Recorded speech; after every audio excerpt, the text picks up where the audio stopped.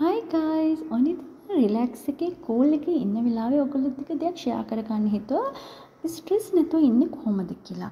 අපි බිස්නස් එකක් කරන්න ගියත් ස්ටාර්ට්අප් එකකදී එක්සෑම් ප්‍රසන්ටේෂන් ඔෆිස් මේ හැම දෙයකදීම අපිට මේක කරන්න පුළුවන් වෙයිද කරන්න බැරි වෙයිද කියලා අපි හරියට ස්ට්‍රෙස් ගන්නවා.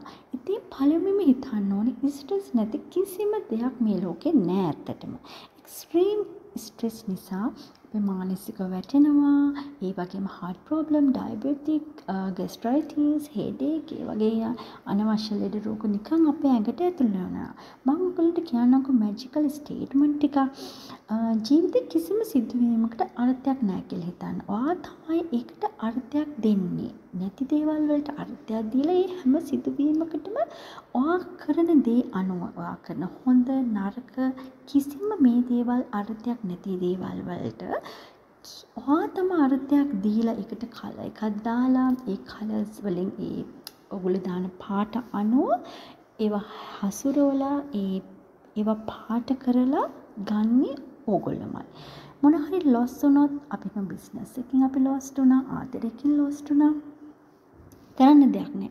කවුරු හරි බැන්නොත් එතනින් ඔයා හිතනවා මේ කියු වෙනවද බ්‍රේක් කියු වෙනවද කියලා. පොසිටිව් රියැක්ට් කරොත් හරි නෙගටිව් රියැක්ට් කරන එක අනුව තමයි ඔයා ඒ ඒ දේ සිදුවීමට අර්ථයක් දෙන්නේ.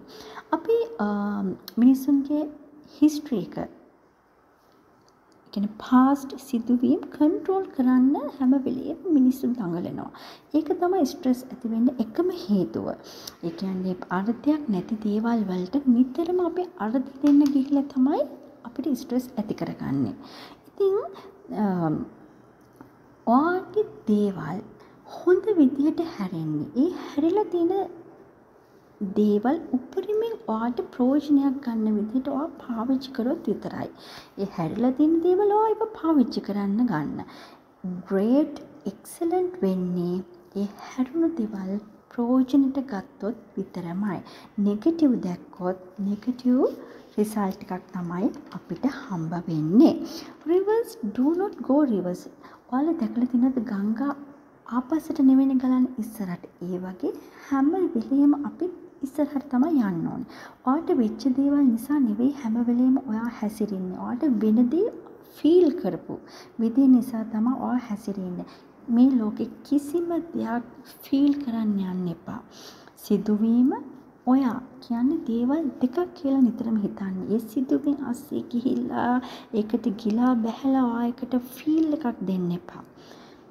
ෆීල් එකක් දෙන්න එපා. ඒකේ ඔයා හැරවුම් ලක්ෂයක් කරගන්න. ඔයා ඔයාට පුළුවන් ඒක බ්‍රේක් ඩවුන් කරන්න ඔයාට තමයි පුළුවන්. ඔයා තමයි ඒ සිද්ධියට ඒ සිදුවීම් වලට ෆීල් එකක් දීලා ඔයා එහෙම කරොත් ඔයා තමයි ඒකට වග කියන්න ඕනේ. ඒ නිසා මං කියන්නේ හැම වෙලේම ඔයා ගෝ වෙන්නවද ඔයා ග්‍රෝ වෙනවද ඔයා ගෝ කියන්නේ ඉස්සරහට යනවද ඔයා ඒකත් එක්ක ග්‍රෝ වෙනවද කියලා තීරණය කරන්න ඕනේ ඔයා. ඉතින් හොඳට මතක තියාගන්න ඔයාට වෙච්ච දේවල් නිසා නෙවෙයි ඔයා හැසිරෙන්නේ ඔයාට වෙන දේ ඔයා ෆීල් කරන්න විදිහ සහ ඒකට දෙන කල එක අනුව.